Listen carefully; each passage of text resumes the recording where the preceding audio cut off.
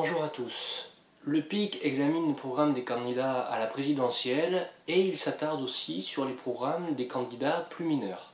Après François Fillon, Marine Le Pen et Benoît Hamon, nous détaillons à présent le programme de Nicolas Dupont-Aignan, qui est un candidat qui a déjà fait des apparitions dans des élections précédentes.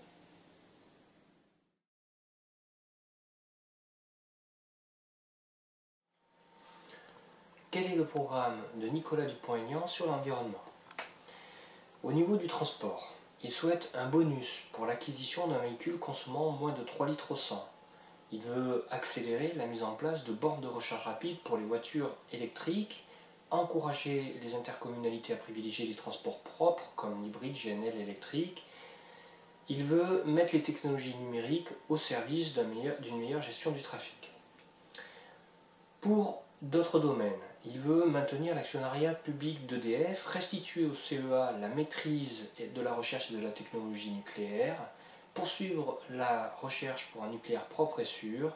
Il veut un plan de développement de la filière thorium sur 25-30 ans qui prend le relais à l'horizon 2050.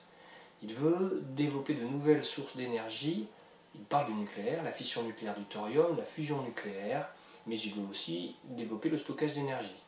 Il souhaite maintenir la gestion des barrages à EDF et refuser la privatisation. Il veut remplacer la loi sur la transition énergétique par un seul plan quinquennal, pluriannuel, pardon, glissant.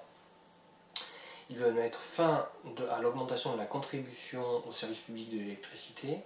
Il veut investir dans la valorisation des énergétiques des déchets, lutter fermement contre l'obsolescence programmée. Il veut faire des collectivités locales le bras armé de l'écologie de proximité.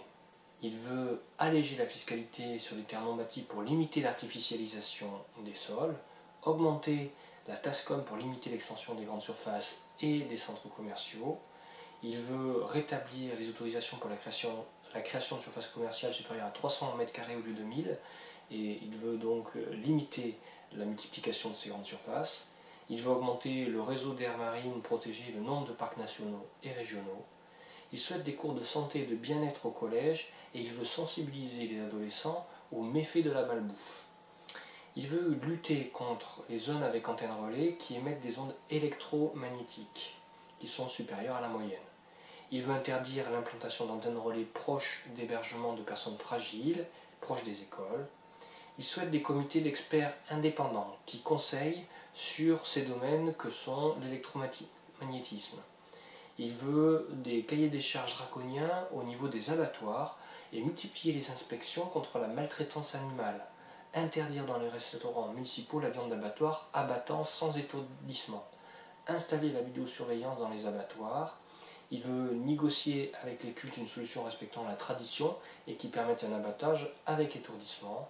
Il veut créer un label bien-être animal il veut soutenir et répartir les refuges débordés par le nombre d'animaux reçus et manquant de moyens, garantir le financement des associations de protection des animaux, mettre fin aux subventions des activités contraires à la dignité animale, interdire à vie de posséder un animal pour ceux qui ont été pris comme abandonnant leur animal.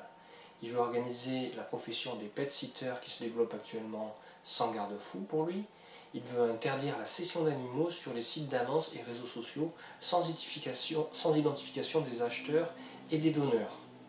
Dans les parcs publics régionaux, il souhaite que, euh, il souhaite que des lieux soient dédiés aux chiens et chats pour qu'ils évoluent en liberté, interdire la consommation de viande de cheval, encourager la création de fermes pédagogiques, exiger la délivrance des certificats de vaccination selon les normes habituelles, lutter contre les trafics d'animaux et contrôler les importations, inciter les éleveurs à acheter des animaux français, stopper le massacre des animaux pour leur fourrure, fermer les fermes à fourrure, déposer un projet de loi reconnaissant la sensibilité des animaux dans le code pénal. Comme on le voit, en termes d'environnement, il y a deux grands axes chez Nicolas Dupont-Aignan. La lutte contre le réchauffement climatique, mais à l'aide des énergies telles que le nucléaire, dans lequel il a confiance et qu'il veut développer, en tout cas pour des nouvelles filières plus propres et plus sûres, comme le thorium et à l'horizon 2050 la fusion nucléaire.